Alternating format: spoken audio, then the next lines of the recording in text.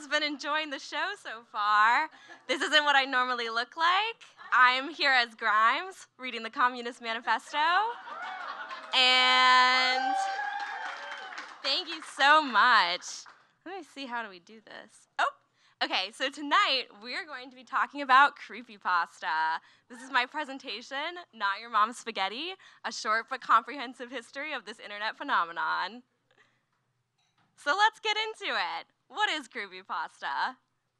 Well, before we get into it, let's preface it with a quick trigger warning. I wrote gross because creepypasta is disgusting, but you should also know, just in general, we're going to be talking about mm, like vague mentions of violence, uh, suicide, and a stabbing. So, on that note, let's jump right in. What what is this? So, creepypasta is a catch all term that generally refers to all types of horror fiction that gets posted online. Um, so, I've come up with a handy little flow chart to explain to you how this process usually happens. Step one, you start out with some good old fashioned creative writing, usually in the horror and sci fi genre. Step two, you find a horror forum online with aficionados such as yourself. And step three, if your if your creepypasta goes viral, you too could someday be a meme. So some places that you might find this on the web are Reddit on the No Sleep forum, uh, the Creepypasta Wiki, classic favorite, and the SCP Foundation, which is a website where you pretend that you've caught uh, fictitious, terrifying animals. So, if you know anything about creepypasta, you probably know one of these little characters. Um, a lot of creepypastas will be iterations of each other uh, because someone will come up with some sort of easily drawn and easily replicable figure, and other people will pick up on it, and it'll become a trend or a meme. Some of these well known characters include Jeff the Killer. Round of applause for Jeff the Killer. Woo! He's so great. Um, another one is Suicide Squidward. Woo! Um, notably, Suicide Squidward made his TV debut about two years ago when Nickelodeon, for God knows what reason, decided to put him in an actual SpongeBob cartoon. I reached out to them for comment and they never responded.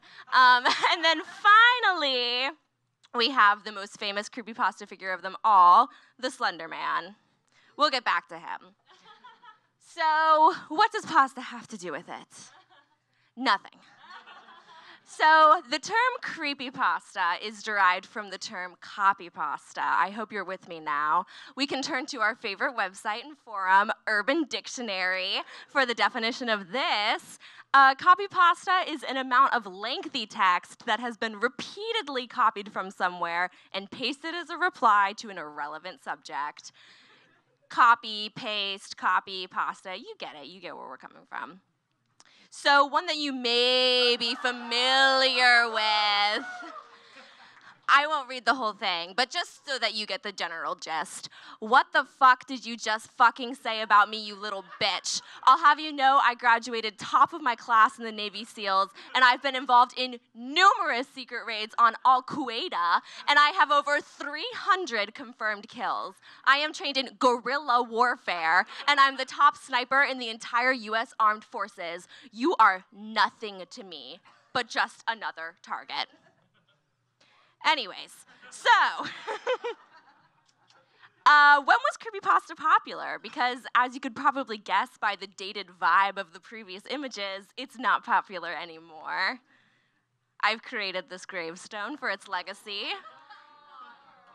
Here lies creepypasta, born roughly around 2005 on 4chan, one of our favorite places, also where the term copypasta originated from.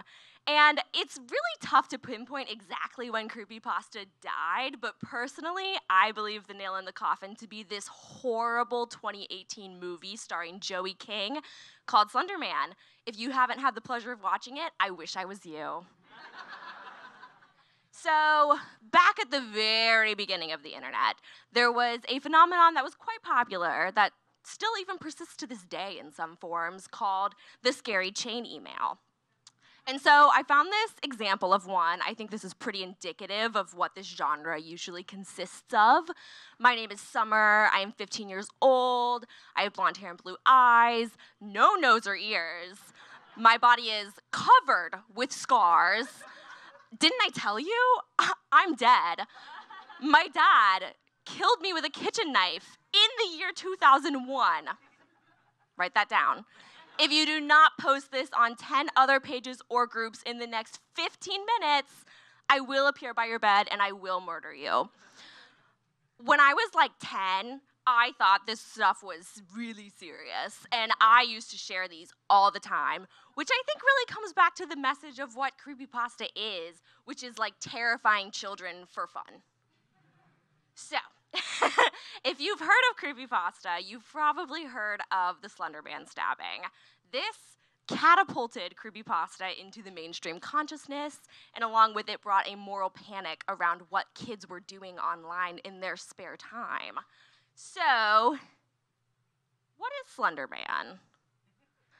The Slender Man, uh, as you can see, and as you've probably already seen, is quite literally a slender man. He's pretty tall, he wears a suit, sometimes he has tentacles coming out of his back. Um, he's really, really easy to draw and recreate if that's your thing. Part of why he spread so quickly. Uh, he was created in 2009 on the Something Awful horror forums as part of a Photoshop horror contest. So this is the sort of iconic, I don't know how to say this word, ubiquitous image and there was also a really popular 2012 game. I say really popular. It was really popular to me. Like, I played it a lot. Um, it was called Slender. I might still play it. That's classified information. Uh, so, back to the 2014 Slenderman stabbing. In Wisconsin, two 12 year old girls, Morgan and Anissa, stabbed their friend Payton in the woods 19 times. Don't worry, she survived. God bless her. Um, these two lovely young ladies were found not guilty due to uh, mental health issues. Both of them ended up going to uh, mental health facilities. The one on the right just got out. Fun note. uh, so they took it upon themselves, basically. I mean, they were 12. They thought that if they sacrificed their friend ritualistically, they would become proxies of the Slender Man. So they like literally wrote up this little list of supplies they needed to become proxies of the Slender Man. Um, but as I alluded to earlier, the moral panic that sort of erupted from this wasn't ultimately that characteristic of what creepypasta is all about. It's not actually like telling your kids to like go into the woods and like stab their friend 19 times with a kitchen knife. Uh, so what is creepypasta about if it's not that? To go over a little bit of what happens in these stories, I've compiled some of the tropes that are commonly found in creepypasta, one of which is a haunted video game.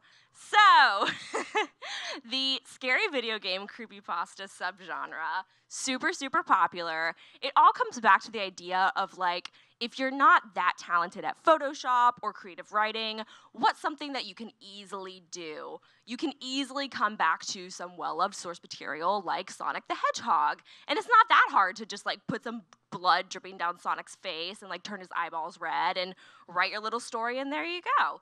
So, Mario, Pokemon, Sonic the Hedgehog, Legend of Zelda, these are all uh, pretty common creepypasta source material. Um, I love this, by the way. The fan art, so impressive. Chef's kiss. Um, another really popular creepypasta trope is the character in a mainstream franchise. So, for example, Mickey Mouse, there's a really famous creepypasta where someone finds a tape and like Mickey Mouse is like upside down and the colors are inverted. And if you watch it, you die. And that's pretty much the, the premise, the whole plot. Um, Squidward from SpongeBob, really popular.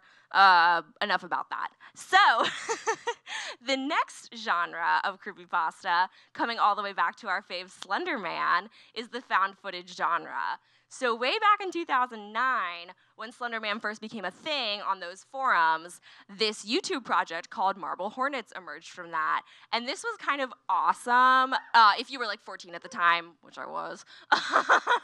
and it was basically just like a mockumentary YouTube series where these people are camping. They see the Slender Man. There's like 500 episodes. I highly recommend it. Um, for the next one, bestie. Um, so the next like category of creepypasta is just like totally unnecessary, gratuitous body horror for the sake of body horror. Many of these fics actually, weirdly enough, have the central premise that the government any government, take your pick, is like secretly funding this super unrealistic human experiment that goes deeply awry. And that's how we get pictures like these, I guess. The final, actually, I don't know if this is the last one. The next characteristic of creepypasta is a lot of times with these stories, you will see very clear, almost like maybe a little plagiarism when it comes to either the TV show Supernatural or the Harry Potter franchise. Creepypasta came out in 2005, Supernatural came out in 2005, Match Made in Hell. And a lot of times you will literally be reading Creepypasta and the names of the characters will be like Harry, Ron, Sam, and Dean. Oh my god, how'd you come up with that? And then finally, our last category of creepypasta, the like sort of crack style, maybe a kid wrote this copypasta that goes viral. The most iconic one is Who Was Phone? Comes from obviously a 4chan comment. So you're with your honey and you're making out when the phone rings. You answer it and the voice is, What are you doing with my daughter? You tell your girl and she says, My dad is dead. So who was phone? Great question. Will creepypasta return and be popular again? Get, let's get into some theory. So personally, I believe that even though creepypasta has not had a renaissance in quite some time, the popularity of TikTok, I think it's gonna make a comeback. Just my prediction. I think we've already seen a lot of these sort of like horror genre type style TikToks pop off. And my end goal, like my hope, my dream, is that teenagers start acting like this again. Because quite frankly, it freaks me out that teenagers aren't weird anymore. Like when I see all these teenagers on TikTok being like conventionally attractive and like socially acceptable, I'm like, this is too much. This is too much. I want to see this shit again. What what is that one even wearing? I don't know. I want to see it again. Let's bring this back. Uh, and then for context, this was me. I was gonna put some pictures here of me at different anime conventions, but they were so embarrassing that I just like ran out of time. um, oh, that's not the ending. oh my god, there it is. Thank you guys so much for listening. Thank you. Get that mic to Cal.